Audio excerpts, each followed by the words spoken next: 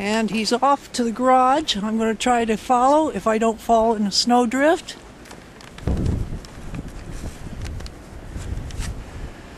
I'm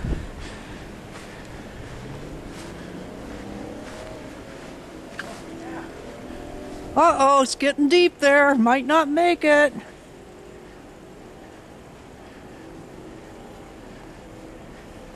Big drift right here. He's up to definitely not his ankles. Oh, I'm trying to follow. This is fun. It's the extra shovels we're after. Not a lot of details from here on.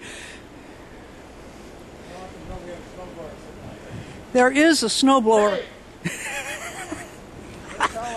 I can't. I, I'm stuck.